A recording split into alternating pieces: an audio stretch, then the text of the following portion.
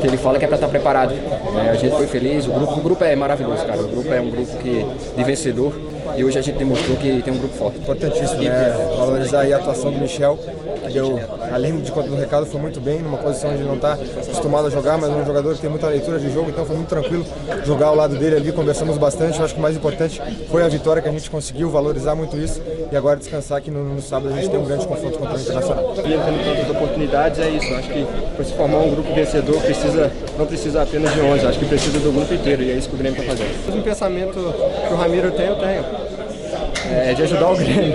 É, ele é um líder dentro do grupo, um cara que eu admiro muito, um cara que, que me ajuda bastante quando eu quando estou jogando.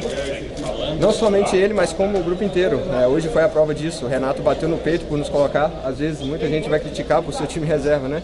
Mas é isso. Acho que para se formar um grupo vencedor, é, ele, ele tem que fazer isso, bater no peito, porque é desumano jogar três competições. E o grupo inteiro está de parabéns pela partida.